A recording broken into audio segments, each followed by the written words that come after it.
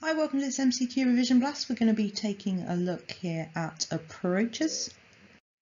How this works is there'll be 15 questions. They're going to be multiple choice questions. I'll read through the question. I suggest you pause the video when I finish reading through. Uh, decide what your answer is and keep your score as you go along. All right, first question then. Which of the following occurred around 1913? A. Freud established the psychodynamic approach. B. Watson and Skinner established the behaviourist approach. C. Wundt opened the first experimental psychology lab. Or D. Rogers and Maslow established the humanistic approach. So pause your video. The correct answer that I'm looking for there is B. That's Watson and Skinner established the behaviourist approach around 1913. So in terms of timeline, and you are expected to know, of course, the history of psychology, We've got Freud there in the 1900s, which was the establishment of the psychodynamic approach.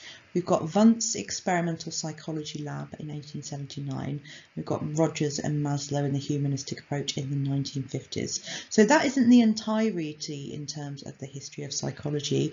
You are also expected to know, for example, about the cognitive approach, cognitive neuroscience, SLT, etc. But it does give you an idea in terms of what you are required to know uh, in terms of of questions, um, think of MCQs perhaps similar to this one, or maybe questions asking you to put the timeline of psychology in order. Question two, in the diagram, what would go in the star? So if you look on the diagram, there's a star next to the bell. I would like to know, please, what that bell would be labelled as. Is it A, neutral stimulus, B, unconditioned stimulus, C, conditioned stimulus, or D, controlled stimulus. Pause the video. The correct answer that I'm looking for there is A, neutral stimulus. So this is basically uh, an outline of Pavlov's research into classical conditioning, where you have the neutral stimulus initially producing no response, but after multiple pairings with an unconditioned stimulus, the, uh, the neutral stimulus becomes the conditioned stimulus on its own, producing the conditioned response of salivation. I put D there on the board. D there is controlled stimulus, just because it's a term that students often use instead of conditioned stimulus because they get it slightly confused. So Pavlov, of course, is named on your specification. You are expected to be able to outline the work of Pavlov and Skinner and also potentially discuss the contributions to psychology that they've made. Three, which statement describes the term negative reinforcement? So I'll just give you a moment just to read through those. If you want an extra challenge, can you think what the other two statements on there are? Pause your video. Right, the correct answer there is C. So your extra challenge, A was positive reinforcement, B was punishment, and C is negative reinforcement. So negative reinforcement is an important one. Often students pick out B for negative reinforcement because the negative part of it, they just assume that it's punishment, where of course it's not. So positive reinforcement and negative reinforcement increase the likelihood of a behaviour reoccurring, whereas punishment decreases the likelihood of a behaviour reoccurring. So that's an interesting response you could use if potentially asked between the difference between, let's say, punishment and negative reinforcement. 4. Which statement about social learning theory, SLT, is incorrect? A. It rests on the idea of observational learning. B. It focuses on the behaviour performed by models. C. It's part of the behaviourist approach. D. It involves four mediational processes. So pause your video. Right, the correct answer that I'm looking for there is C. Again, this is a common misconception about SLT. SLT is not part of the behaviourist approach. The behaviourist approach is Pavlov and Skinner, classical conditioning and operant conditioning. The reason students sometimes get confused is behaviourism and SLT are what we call part of the learning approach. Um, in an exam in a previous season, for example, there was a question on the behaviourist approach and many, many students included the work of Bandura and SLT in their answer when of course it wasn't credit worthy. So SLT uh, is different from behaviourism in the sense it's really about D here on your slide, that it involves those mediational processes, which are certainly a cognitive element which behaviourism did not allow for. All right, which of these is not an evalu valid evaluation of SLT? A, it's supported by experimental research. B, it helped establish psychology as a science. C, it has valuable real life application. D, it is able to establish cause and effect. So pause the video. Right, the one that's not valid there is D, and we'll talk about that in a second. So in respect to A, it's supported by experimental research. Well, of course it is, the most famous of that being the work of Albert Bandura. For B, it helped establish psychology as a science. It did, as part of the learning approach. Arguably, it wasn't as important in terms of development as science uh, as behaviourism was, because of course behaviourism was a lot earlier than social learning theory. For valuable real life application, we often reference the watershed that's used on television. The watershed, of course, being developed um, as a result of seeing how important observational learning is. Uh, for D, it's able to establish cause and effect. This isn't entirely true. Uh, when we think about SLT in terms of criticisms, we often comment on the issue of causality. This is because it's not clear if people learn behaviour from models or maybe it's just a case that they seek out models who exhibit behaviour or attitudes that they already favour. Okay, six, which part of the cognitive approach is not named on the specification? Is it A, attention, B, the role of schemas, C, the use of theoretical and computer models, D, inferences. So which one of these is not explicitly named? Right, the correct answer there is A. So on the specification, it says the study of internal mental processes. Now, attention is an internal mental process, as is, um, let's say, perception, memory, consciousness but it's not named explicitly on the specification. Schemas are named on the specification, theoretical and computer models and how we use these to make deep inferences is named on the specification. The thing that's missing there in terms of the specification is of course the emergence of cognitive neuroscience. So just be aware you could be asked perhaps a shorter answer question about any of these core concepts within the cognitive approach. Okay, which of these statements about the cognitive approach are correct? I'd like you to pick two of these, please. A, it is both nature and nurture. B, it emphasises the role of nurture. C, it is both nomothetic and ideographic. D, it uses a nomothetic approach. Pause your video, I'd like the two that are correct, please. Okay, I'm looking for A and C. So we'll begin with A, which is it's both nature and nurture. So the reason it's both nature and nurture is because within the cognitive approach, it does recognize that behavior is as a result of what we call information processing. And this information processing occurs within the brain. The brain is of course biological in origin, hence nature. The cognitive approach, however, does also recognise, let's say, the influence of schemas on our behaviour. Schemas, of course, are modified by experience and the environment, which is very much on the nurture side of the debate. Now, for the nomothetic and ideographic, you can argue that the cognitive approach does straddle both of these approaches because it utilises both the experimental methods to generate general laws and principles, but does also draw on the findings of individual case studies um, within it. 8. Which of these statements about the brain are correct? A.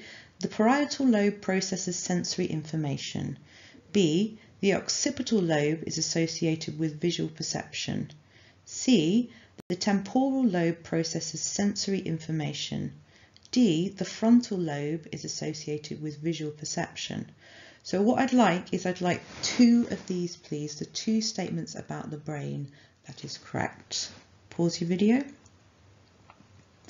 Right, the correct answer that I'm looking for here is A and B. So the parietal lobe processes sensory information and then B, the occipital lobe is associated with visual perception. So the parietal lobe and the processing of sensory information, of course, is related to the fact that in the parietal lobe is where the somatosensory area is located, uh, which is just in the middle of the parietal lobe there, near what we call the central sulcus, in between the frontal lobe and the parietal lobe. And the occipital lobe there is at the back of the brain and that's associated with visual perception and this is of course the reason why when you get a young baby mothers always hold the back of the head of that child uh, this is because the skull isn't fully formed yet so any kind of bash to that area can have a resulting effect in terms of um, the child and the child could potentially go blind from that. 9. Which of these are neurotransmitters? And I'd like you to pick two, please. We've got melatonin, dopamine, serotonin, and adrenaline. Pause the video. Okay, so the answer that I'm looking for here is both B and C.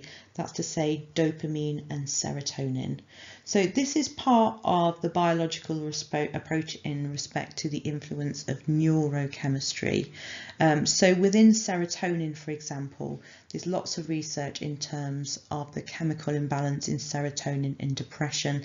That's to say it's been associated with low levels of serotonin. And this is why the drugs used to treat depression aim at increasing the amount of serotonin in the synapse, for example, through the use of SSRIs. Uh, for dopamine, we also see within schizophrenia high levels of dopamine um, as part of a symptom of schizophrenia. So again, the medication for schizophrenia seeks to lower the levels of dopamine. A and D there, of course, are not neurotransmitters, they are hormones. 10. Which of these statements about the biological approach is the least accurate? A. It adopts a reductionist perspective. B. It is entirely the nature side of the nature-nurture debate. C. It utilises scientific methods. And D. It is considered deterministic. Okay, pause your video, the least accurate one. All right, so I might have tripped you up on this one because it is B. It is entirely the nature side of the nature-nurture debate. Now, why it's very much widely accepted that the biological approach does sit on the nature side of the nature-nurture debate um, when we talk about how our behaviour is determined by things like genes and neurotransmitters. There is also acknowledgement paid to the role of the environment. Uh, this is in respect to when we talk about the uh, influence of phenotype and also kind of more modern research in terms of um, epigenetics. So to state that the biological approach is entirely on the nature side of the debate is slightly inaccurate because there is also the influence of nurture in there somewhat. All of the other statements that we've got here are very much valid. Uh, it does adopt a reductionist perspective. And one of the things I often say when talking about reductionism is that this doesn't make it in, inherently bad. Science is reductionist. It's part of the scientific method to isolate cause and effect relationships. And how we do this is by reducing things down to the simplest so we can measure the effects of it. Where the biological approach, you might argue, goes bad is when it's being a little too reductionist. Uh, that's to say, that's when we start ignoring the influence of other factors that may have been demonstrated to also have an effect. Question 11. What would go in the star in this diagram? So what I'm looking for is the age in which the phallic stage occurs in infants. You've got a choice of one to two years, three to six years, four years to puberty, or two to three years. So pause your video. Okay, the correct answer that I'm looking for there is B, that's three to six years. Now we've got three of Freud's um, psychosexual stages of development on here, just to illustrate the difference in terms of the age. Now the phallic stage, of course, is an incredibly important stage of development for young infants. Uh, this is where for young boys, for example, we'd need the resolution of the Oedipus complex in order for the boys to get, if you like, their gender. And it's also for boys and girls where they get their sense of morality because it's within the phallic stage that the superego develops. Those of you that have studied forensics uh, as your option in paper three, for example, know that the development of the superego is one of the ways uh, we can explain offending behaviour when we look at the different types of superego that individuals might have. 12. Who said the following? Give me a dozen healthy infants, well formed, and my own specified world to bring them up in, and I'll guarantee to take any one at random and train him to become any type of specialist I might select. So using your amazing approaches knowledge, who do you think is most likely to have said that? Do you think it's Darwin, Freud, Watson or Rogers? Pause your video. Okay, well done if you got it right. It was Watson. You might just have hazarded a guess there and thought that actually it's Watson because what he's saying very much fall in line with the behaviourist principles in the sense of this idea that the individual is born with this blank state, this tabula rasa, if you like, and given the right environment and the right way to raise a child, Watson, of course, asserted he could make that child anything simply through manipulation of their environment. Okay, another quote. Who said the following? What I am is good enough if I would only be it openly. A. Darwin, B. Freud, C. Skinner, D. Rogers. Pause your video. Okay, the correct answer there is D. So this is Rogers. This is, of course, a very humanistic statement to make because what he's talking about is the interaction between the kind of ideal self and the actual self and this idea of having incongruence between the two unless they match. So the being it openly part of them would be those two parts of the self coming together within that congruence. 14. Which of these is not a valid comparison of the behavioural and the psychodynamic approach? A. They have both used ideographic methods. B. They are both deterministic. C. They are both nature and nurture. D. They both have practical application for therapies. So which one is not valid? Okay, the one there, of course, that's not valid is they are both nature and nurture. The psychodynamic approach is nature and nurture. Course, the id part of the psyche uh, being that kind of biological drive and instinct, and then, of course, how we interact with our environment and the influence of our parents and how they raise us affecting our behaviour. And the behaviourist approach, of course, is entirely nurture. Now they have both used ideographic methods, uh, so the favouring of the case study approach. In the behavioural approach, for example, you might recall the case study of little Albert that you might have made reference to when studying phobias, and Freud, of course, favoured the ideographic method. They're both deterministic, but of course they're deterministic in different ways. Um, they both say that largely our outcome in terms of our behaviour is little much down to our choice the psychodynamic approach, of course, arguing that it's a result of um, perhaps uh, the innate drive of the id and what that wants, the result of defense mechanisms. The behavioral approach, of course, saying that our behavior is largely determined by our environment. And then D, they both have practical application for therapists. So the psychodynamic approach, of course, has got the development of psychoanalysis as a therapy. And then for the behaviorist approach, Again, just linking back to phobias, we could talk about the use of systematic desensitization and flooding as behavioral therapies. Okay, final one, which is not a valid comparison of the biological and the cognitive approach. A, they are both ideographic. B, they both use scientific methods. C, the cognitive is more nurture than the biological approach. D, they are both reductionist. So I just want to know which one of those isn't a valid comparison. Right, the correct answer there is they are both ideographic. Uh, so the biological and cognitive approach are very much nomothetic in terms of the approach to research that they take in the sense that they rely on experimental methods and they aim to establish general laws about human behaviour. Okay, I hope you did all right on that approaches MCQ blast. Do have a go at the other MCQ blast that's on here if you haven't already. Uh, head over to tutor2u.net for any study notes that you need on approaches and there are plenty of other MCQ blasts on here for other topics that you can have a go at.